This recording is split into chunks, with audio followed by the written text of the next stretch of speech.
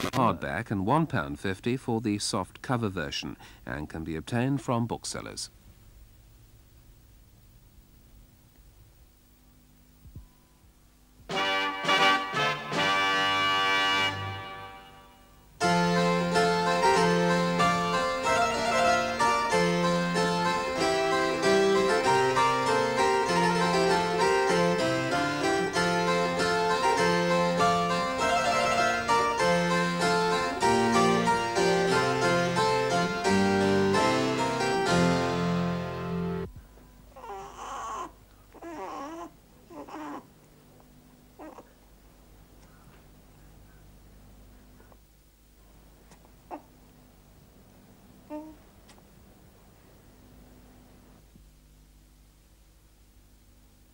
Captain Selwyn, I should like, if you please, Mr. Soot the Sweep.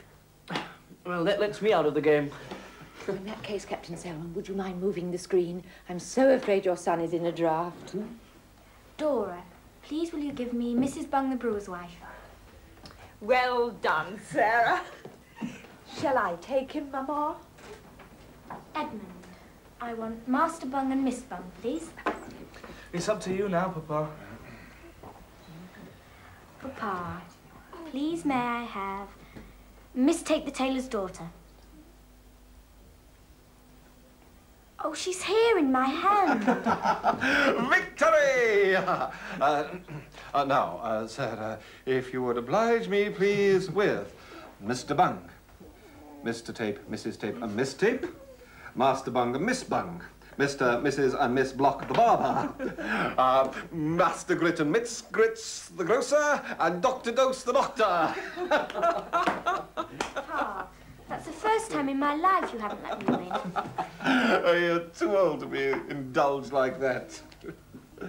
I shall let my grandson win until he is five years old. After that, I shall expect him to beat me fair and square at everything. oh, that reminds me. Have you ordered a fire guard for his nursery? hmm? Yes, Papa. And Bertie has had the wallpaper varnished so it can be washed. And the prettiest muslin curtains are up at the windows. Oh, well, I hope you're not having candles with all that drapery about. No, and no pernicious gas either. Just a good duplex lamp with a heavy base so it can't fall over. Oh, and we've ordered a perambulator for when the baby's strong enough to sit up. Well, why has nobody made a perambulator the right shape for a baby to lie down in? When a child is old enough to be exposed to the air, he's old enough to sit up. Rubbish. Fresh air on a mild day never did a baby any harm. And another thing, Dora, his back will grow strong without yards of flannel binding to support it. You know, I can't think why babies have to be bandaged up as if they were going to fall apart. I shall leave those decisions to Nanny. Will it be convenient if she moves in with us tomorrow, after the christening, Mamma, and takes charge of Humphrey from the month? Of course, dear. Uh, who's Nanny? Our nanny? Of course. She cared for me, and I wanted to care for my children.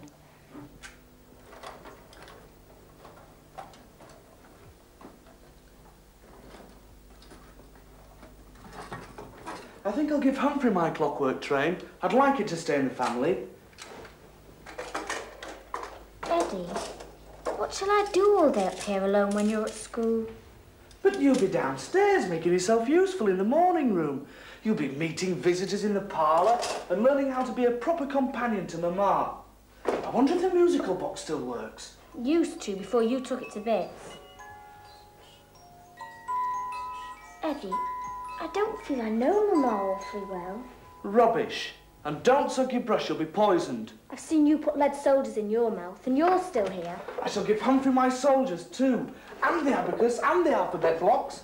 That's unless you need them. Thank you kindly, but I can count and say my alphabet. And I think I'm going to cry. Look, you'll ruin your painting. What's wrong? Seeing the toys we'd all but forgotten, hearing that tune again, and losing Nanny. Why does nobody tell me anything important? Because you make such a fuss. Exactly. I haven't learned how to behave properly. So she can't go yet.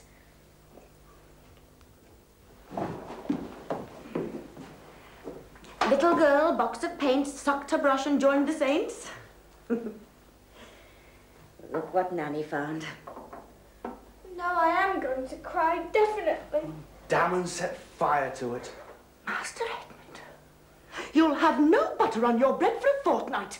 Such language. But you won't be able to punish me, Nanny. And we wish you weren't leaving us. Well, now. You just hold that pretty little outfit up against yourself, young sir. It used to be your best frock when you were five. And I kept it in case your dear mamma should have another little boy. We'll settle your punishment later. Now, Miss Sarah. You dry your eyes, look at your brother, and you tell me why you think he can't get into that pretty summer frock anymore, if you please. He's grown out of it in all directions. Well then, dearie. Children grow out of everything. Even their nannies, more's the pity. He used to be a real little gentleman before he went into trousers. We're offering Nanny £22 a year, all found. Do you think that's sufficient, sir? Well, I have given her 26. But then she did have the trouble of turning three awful children into civilized members of society. Papa, that is unfair. How can you say such things to Bertie? I stand corrected. Dora was never an awful child. Apart from the time when she cut her hair off with Nanny's sewing scissors. Oh, yes. But she used to twist it up in curling rags every night to make ringlets, and I could hardly sleep for the pain. Fortunately, Humphrey will not have that to endure. She's rather determined about brimstone and treacle, but I loved her very much, and I'm sure baby will too. Your papa is giving her 20 sovereigns as a leaving present. Yes, one for each year she's been with us, and one for luck. And I am giving her a new cap and gown. She never spends her wages. She is saving for her old age and a country cottage where all the children she has ever nursed can go and visit her. Isn't that a charming idea? Brimstone and treacle. William? Yes, I must make sure that Nanny takes her medicine chest with her. Grown up they may be, but we don't want Edmund and Sarah to start dosing themselves. There's something new every day. These corsets are molded with steam, dear, over beautiful earthenware shapes, or metal ones. Oh, Nanny, I'm just flesh and it pinches. Mm. Pride must abide, dear.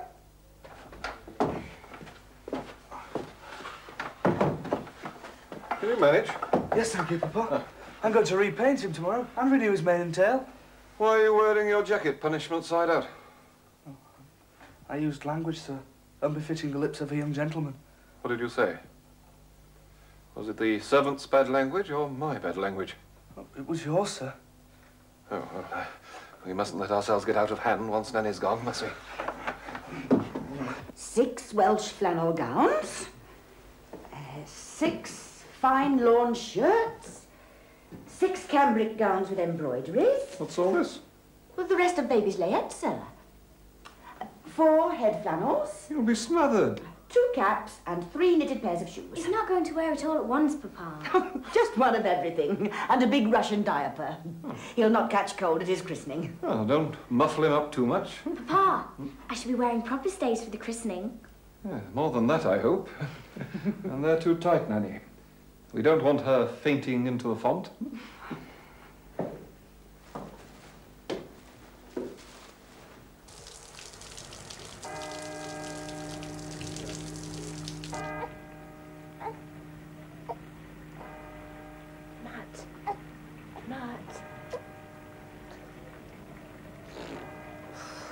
And look for your porridge. See if you give us some money. Really, Mum? We'll be crammed tomorrow if we have no food. Fourpence, sixpence out he's got, eh? Is he not coming home tonight? He'll not be back while there's a baby crying.